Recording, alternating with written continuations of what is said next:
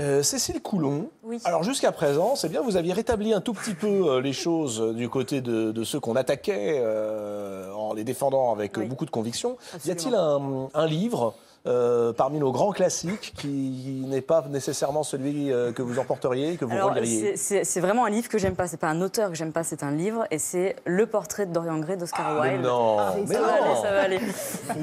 Euh, j'ai- Alors là, vous me surprenez. Alors, il faut quand même euh, dire quelque chose, c'est que souvent, ce qui se passe, c'est un contexte. C'est quand on vous dit, quand quelqu'un vous dit, mais il faut absolument lire ce livre, c'est génial, j'ai adoré. Ouais. Plus on vous dit qu'un livre est génial avant que vous le lisiez, plus vous avez l'impression que si- s'il y a des choses que vous n'aimez pas, bah, qu'en fait le livre est mauvais. Et c'est horrible. Il faut dire aux gens, arrêtez de dire aux autres, lisez-le, c'est génial. Il faut dire, lisez-le, moi j'ai bien aimé.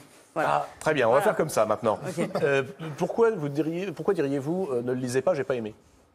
Parce que j'ai beaucoup aimé l'idée du livre.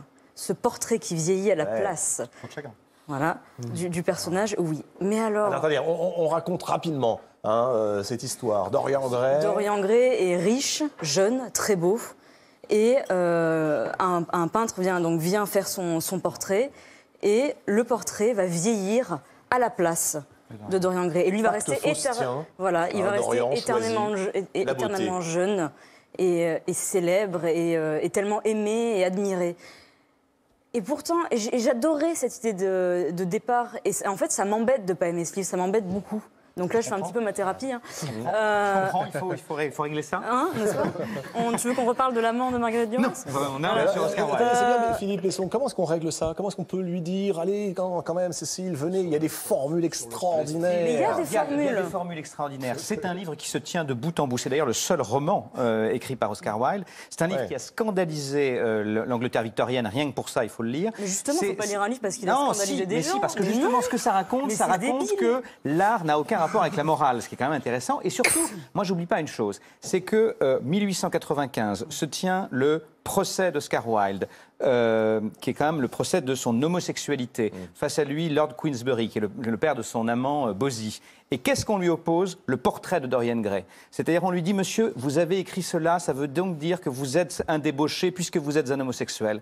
C'est c'est- c'est les homophobes se servent de ça pour, pour détruire un homme. Rien que pour ça, il faut lire ce Et livre. ça, c'est Ça veut 1895. dire qu'il faut 95. l'aimer. Il faut lire, mais c'est pas Ouais. Oui, mais, l'aimer. encore une fois, il est Euh, extrêmement puissant. Et puis c'est Alors, un ode attendez, à la jeunesse, ça- à la Ça, c'est l'histoire du livre. Philippe, vous avez parfaitement raison de, de- de la rappeler, mais euh, le livre en lui-même, c'est-à-dire le fait qu'on voit un Dorian Gray en profiter pour devenir de plus en plus cynique, C'est un débauché, assassin. oui, c'est un débauché. C'est un, avatar, c'est un avatar du portrait ovale aussi euh, dans, dans le fonctionnement de, de- de style. toute la littérature Mais il y, y fantastique. a sans doute des euh, choses fabuleuses, mais quand j'ai lu ce livre, les- les- enfin, je- c'est le style, c'est sans doute le Qu'est-ce qui vous style. plaît pas J'ai trouvé ça sans aucun relief, en fait. Attendez, non, non, non, Mais non, non, ah, Cécile, je peux non, pas vous non, laisser non. dire ça. Il y a des phrases géniales. Mais si, on prend les phrases- mais si on sort les phrases d'Oscar Wilde, évidemment que De c'est- nos que jours, c'est on ne sait, magnifique. de nos jours, on sait le prix de tout, mais on ne connaît la valeur de rien. Mais ça, c'est Oui, magnifique, ça, on est c'est comme un d'accord. aphorisme, ça fonctionne. Mais c'est Non, un c'est vrai aphorisme. qu'elle est. Tu es l'aphorisme. Ouais, non, mais moi j'aime j'ai beaucoup bouquin. Pour mais retrouver je- sa les jeunesse, uns à- à pour tirer retrouver les sa autres. jeunesse, il suffit d'en répéter les folies. Alors vous, vous êtes très jeune, d'accord? Vous n'avez pas besoin de les Mais répéter, le les folies. principe de l'aphorisme, c'est qu'il est seul. Là, j'ai l'impression que c'est des aphorismes mis les uns à la suite des autres, et du coup, ça ne fonctionne pas sur moi. Mais encore une fois, je suis très embêtée de ne pas aimer ce livre. Voilà. Parce qu'il va Eh dans ben, la un effort. même, quoi. Et- Ah oui, c'est Oui, mais elle m'ennuie, cette, euh, cette débauche, elle m'ennuie. Mais énormément. Mais je suis vraiment, vraiment embêtée qu'elle m'ennuie. Voilà. Des choses comme ça, car il ferait que vous aimiez bien dans le livre. euh, Bien la débauche. ouais, les, jeunes gens, les jeunes gens veulent être fidèles et ne le sont pas. Les vieux veulent être infidèles et ne le peuvent pas. Ouais, mais ça pourrait être de Guitry, ça. donc. Oui, mais c'est l'Oscar Wilde.